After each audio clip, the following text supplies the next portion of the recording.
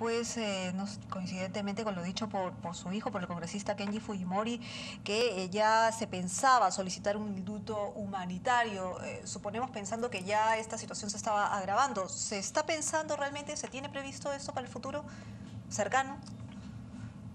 Nosotros de momento, Carla, estamos abocados al problema de salud del presidente tú me traes a memoria lo de indulto, la verdad que no lo hemos pensado porque hemos estado esta semana eh, viendo su problema, ¿no? Doctora Guinaga, finalmente, y aprovechando que lo tenemos en la línea telefónica y cambiando completamente eh, de tema, seguiremos monitoreando, por supuesto, el tema de la salud del expresidente Fujimori. Queríamos preguntarle por la moción de censura contra la ministra de Educación. Tenemos entendido que no reúnen ustedes todavía las firmas que necesitan. Las firmas para poder este, para poder solicitar la censura las tenemos. Ya corresponde a, cada quien que dirige un sector ver si está en la competencia de seguirlo conduciendo o no. En estos momentos la censura pasa a ser un trámite. Vamos a escuchar esta tarde al tercer gabinete del año.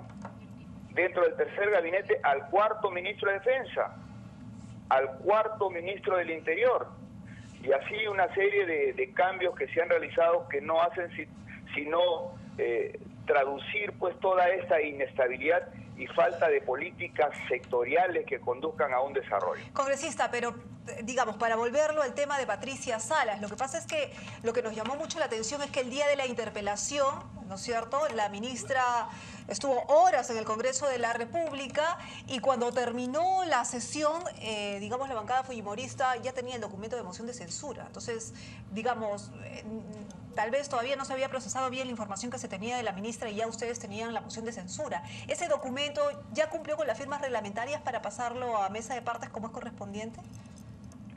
Bueno, con relación a lo que señalas, eso no hace sino traducir que eh, el grupo fujimorista trabaja trabaja con muchísima antelación, estudiamos cuáles son eh, realmente las propuestas, cómo se desarrollan. Ayer mismo domingo el grupo ha estado trabajando, eh, viendo o tratando de analizar, eh, se ha dado facultades, pero hasta el momento no se ha hecho llegar ninguno de los proyectos, por lo menos para poder discutirlos.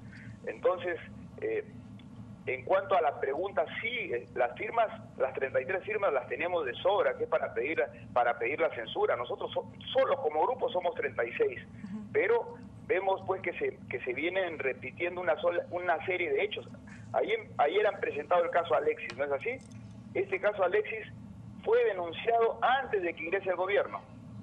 La Comisión de Fiscalización que la presidía Solidaridad no ha hecho nada se nos dijo que se había enviado un oficio, nosotros justamente replicamos que no es cuestión de, de mandar oficio, sino de investigar de oficio, y ya vemos que en el año ha seguido profundizándose la misma situación y ayer con una denuncia gravísima que ha pasado un canal colega de ustedes, ¿no? Eh, doctora Guinea, finalmente con el tema de Patricia Salas, teniendo entonces la firma para solicitar la censura, ¿están negociando políticamente con otras bancadas para llegar a los votos necesarios para que la censura se dé? ¿Creen que lo van a conseguir? Carlos, reitero, nosotros queremos escuchar al gabinete hoy día.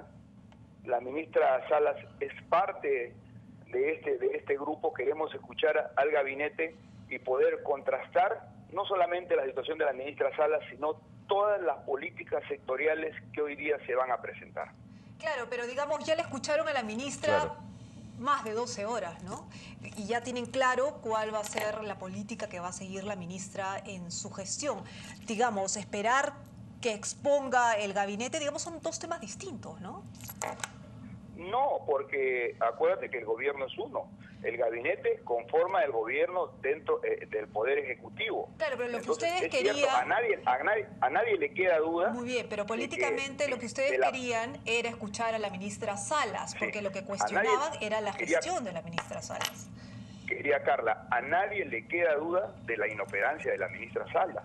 A nadie le queda duda de los coqueteos que esta ley que ha presentado la ministra Salas con las fracciones violentistas y extremistas del SUTEP, representadas por el Movadez y el CONARE. A nadie le queda duda de ello. Eso, a nadie le queda duda que no queremos eso para la, la educación de los niños. Bueno, a la Entonces- mayoría de bancadas sí les queda duda, doctora Aguinaga, si no ya esa misma noche hubiesen, hubiesen votado por la censura. ¿Estará usted de acuerdo conmigo?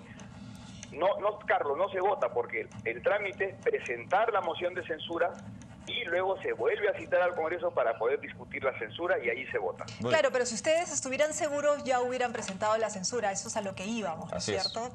Pero no, todavía están como que dudando. Entonces, suponemos No, no, que en su no. propia bancada también les queda un poco de duda sobre la, sobre la gestión de la ministra Salas. A ¿O qué nosotros sobre la gestión, Carla, no? no nos queda ninguna duda. No nos queda ninguna duda sobre la gestión. Esto es una cuestión de votos. Entonces, es cierto, hay que tener los votos necesarios para ir a una censura. Muy bien. Muy bien. Doctora Aguinaga, gracias. Estaremos pendientes de la situación de la salud del presidente, del expresidente Fujimori. Muchísimas gracias. Muy bien. Muchas gracias a ustedes, buenos días. Muy buenos días. Conversábamos con Alejandro Aguinaga, congresista de Fuerza 2011 y abogado.